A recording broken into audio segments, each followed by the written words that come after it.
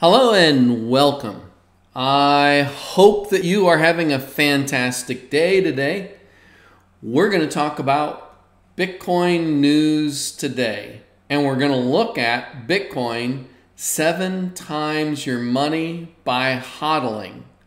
Now, think about that for a second.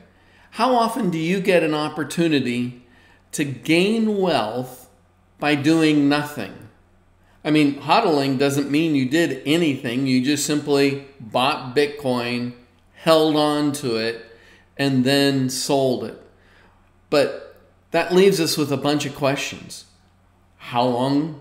How much? When? Where? How? Blah, blah, blah. So we're going to get into it. I'm going to give you all the details. By the time I'm done with this video, you should understand how to make seven times your money, or at least understand how it was done in the recent past. Let's take a look at this. So, should I buy Bitcoin now or should I wait? We're going to give you ideas to help you take profits and avoid losses. Can we get this video to 99 likes? Smash that like button. Hey, it makes a huge difference.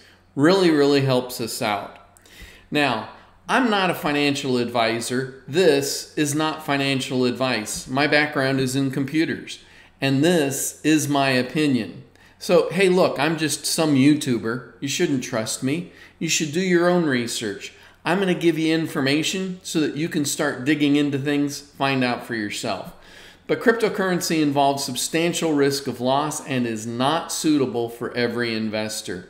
This paragraph talks about the risks of investing. It applies to any kind of investment. If your Uncle Joe comes and says, hey, let's start a business, or if you're going to invest in stocks or rental properties or anything else, you should take seriously what you're doing and read this paragraph. Try and follow it because it could help save your bacon.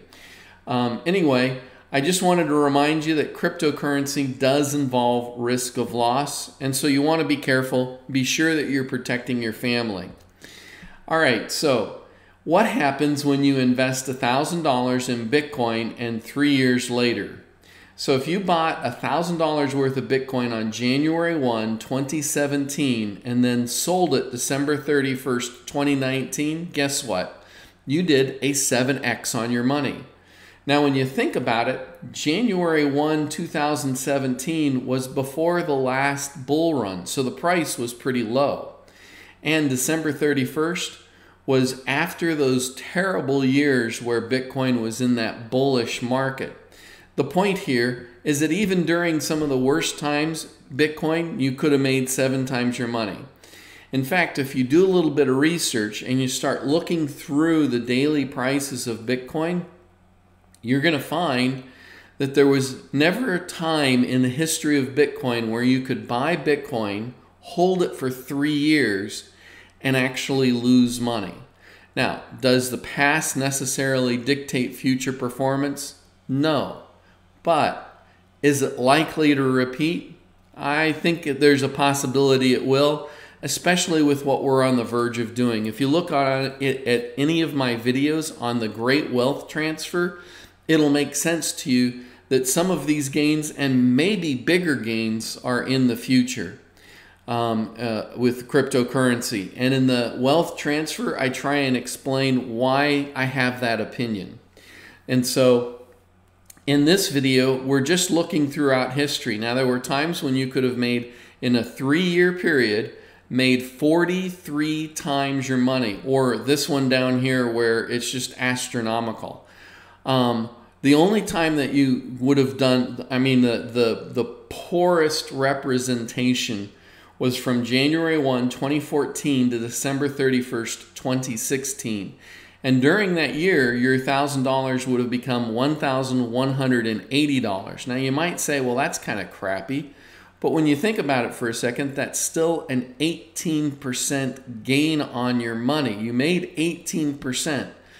I don't know of a lot of things that you could do with a thousand dollars that would make it 18%. I mean, you might be able to, uh, if even if you were buying stocks and you bought some of the best stocks and your stocks did at least as good as the S&P 500, 18% is not far from the amount of money you would have made from stocks. I mean, you definitely could never put it into a bank today. I mean, from 2014 to 2016, what bank would have given you 18% on your money? You're, you're talking about half a percent to 2%, somewhere in that ballpark for savings accounts and CDs. And so this is, even at its worst set of three years, this is still significant money. So that's my video for you today. How can I be of service to you? Now, I guess one more thing to do this is really pretty simple. All you have to do is go to any of the websites that sells Bitcoin, such as Binance, Gemini, Coinbase, set up an account, buy Bitcoin. Now, as always, keep your money safe, pull it off of the exchange, because if it's not your private keys, it's not your token. If it's not your private keys, it's not your Bitcoin. And so take possession, self custody your own Bitcoin. I always recommend that you get a uh, hardware wallet such as a Ledger or a Trezor. Um, and if you want more information on anything I just said as far as where to buy Bitcoin or getting a Ledger or a Trezor, I'd be happy to give you links. I'm not going to ask you to send you your money to me. I'm going to have you go to some other company and you can buy your Bitcoin from them. I don't trade in Bitcoin, and so how can I be of service to you? Do you have any questions, thoughts, comments? Is there something you didn't like about what I said? I'd love to hear your polite disagreements in the comments below. In the meantime, do me a favor like, subscribe, and hodl, and I hope that you have a fantastic day.